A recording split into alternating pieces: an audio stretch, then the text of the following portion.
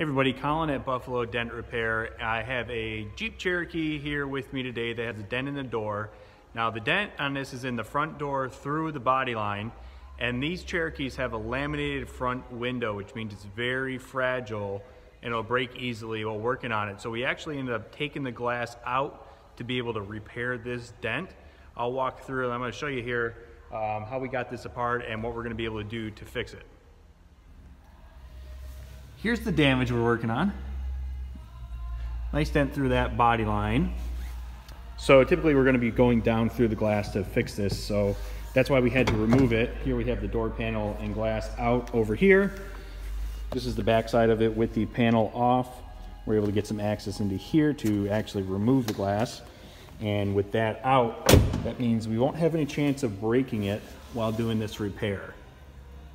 So this repair is all finished up. Got the glass back in, door panel on, everything put back together.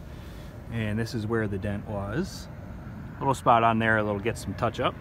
This dent is fixed and it'll be back to normal in no time.